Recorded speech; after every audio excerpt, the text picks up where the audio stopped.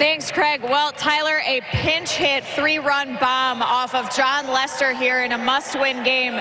Could you have imagined a bigger moment for your first home run as a Brewer? No, to be honest, it was uh, today's a pretty special day. Ta take me through the approach when you're going up there to face Jon Lester. You guys really made him work for 35 pitches in that inning. Yeah, you know, just trying to go up there and uh, get a good pitch and, and get my A swing off, and um, I did. And you know, good things happen when you do that.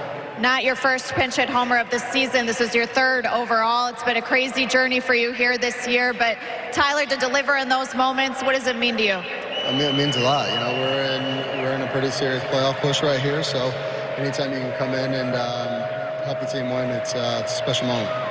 You joined this team a week ago at Wrigley Field. How do you describe what this last week has been like, splitting the series with the Astros, and now you come back, you win three out of four here against a division rival? Know, it was awesome. This, this team is amazing. Uh, it's an honor to be here, and uh, you know, hope we can keep this going. All right, congrats on the big swing there. Tyler Austin, his first home run as a Brewer, a big one, the three-run shot off of Jon Lester.